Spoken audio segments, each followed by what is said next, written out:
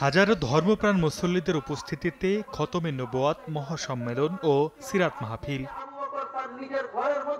বুধবার বিকেলে সিলেট নগরীর আলিয়া ময়দানে আয়োজন করা হয় মহাসমাবেশ। এতে সিলেট ছাড়াও হবিগঞ্জ মৌলভীবাজার, সুনামগঞ্জ সহ আশপাশের জেলা থেকে হাজারো মুসল্লি অংশ নেন। সমাবেশে হেফাজতে ইসলামের কেন্দ্রীয় উপদেষ্টা সাইকুল হাদিস, আল্লামা আব্দুল হামিদ পীর সাহেব উপস্থিত ছিলেন। এছাড়া আলোচক হিসেবে ছিলেন পাকিস্তান থেকে আগত মুতাকাল্লিমে ইসলাম মুফতি ইলিয়াস গুম্মান। শত শত মুসল্লিদের পদচারণায় মুখর হয়ে ওঠে আলিয়া মাদ্রাসা মাঠ প্রাঙ্গণ। মুসল্লিদের উজ্জীবিত করতে পরিবেশন করা হয় ইসলামী সংগীত।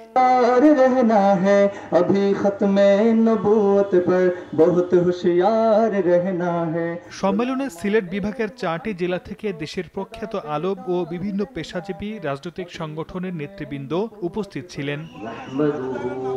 ونصلي على رسوله الكريم সময় সংবাদ সিলেট